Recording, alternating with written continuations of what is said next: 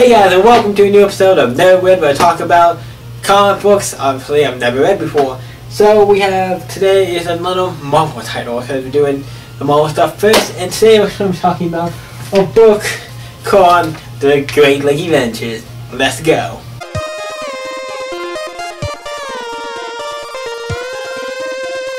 Okay, so for this episode, we'll obviously talking about the Great Lake Avengers. I got issue one, and then since I was gonna record this video way sooner, but it's not too bad because I got issue two since then. Uh, so we can you more to talk about. Uh, this is a great series. Uh, I like it because I like comics like Great Lake Avengers, slapstick, a lot of characters who probably most people don't even read or don't care about. It's more kind of the weirder, goofy characters who or characters you don't take seriously. I don't know. I like them. I've read Slapstick. It was a fun little series. I have not read issue 6 because 5 hasn't came out yet and I want to read issue 5 before issue 6.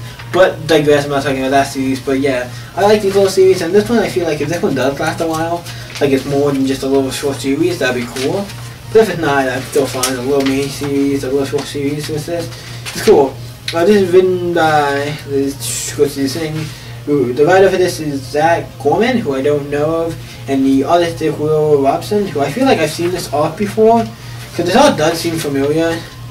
So he probably wouldn't be surprised if he had drawn something else or something else out now that I've read because it does look familiar. I don't know what book it is, but I can, I'm looking at this and I'm like, yeah, he does. It does seem familiar. So yeah, the fifth issue is about um, is about them trying to get like these guys come in because like, hey, you using the Avengers name or whatever, and we need to own a ship of it and da da. Uh, and like he gets the name back for the Great Lake Avengers.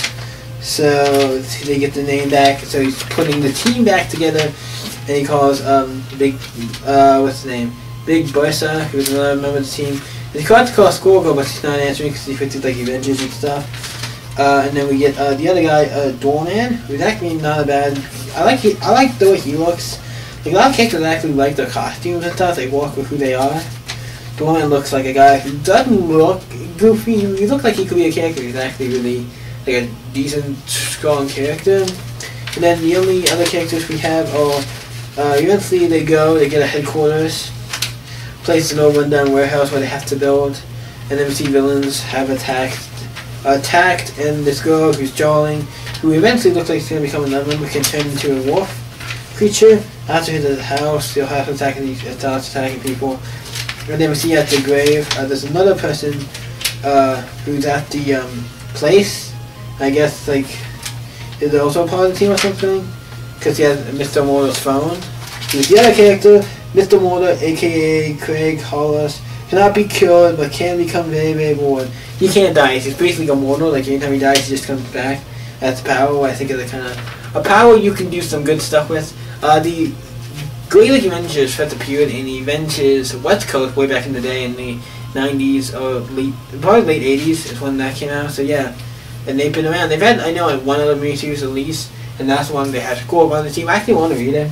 It's very cool. And I have also issue two what continues the stuff. And basically in this issue, Mr. Immortal becomes uh because he's underground because he was like I'm underground under here for so long under this coffin. I can't really. I mean even if I do die, I come back. So it's not that whatever because he wants to.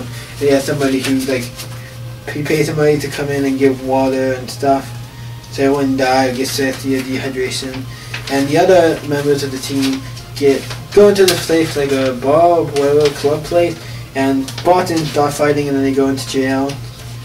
They find out that the one girl who turned into the wolf has a brother who's turning into a werewolf or something, and find out in, in the in the prison, um, the wolf girl is now there too, and she turns into a werewolf, and then she becomes a part of the she becomes a part of the Great Lake Avengers. I like how Steve's like, who? Like, I've never heard of you guys. Probably not, but still, it's weird that you're saying who. Like, they say Avengers in the name, and that they can use that trademark. They are like an Avenger team, an official Avenger team. I really think cool. Now, then we see the guy who owns the club. Uh, he we saw he was wearing like this max. This thing, like it's very. Uh, uh, he's wearing this like it's very demon mask. It's a he looked like a villain. Like he's a guy who's up to no good, and I don't know why they trust him. And he might actually be a real demon. It looks like he's putting on a mask, but it could be also he's taking off. Um, his regular like face.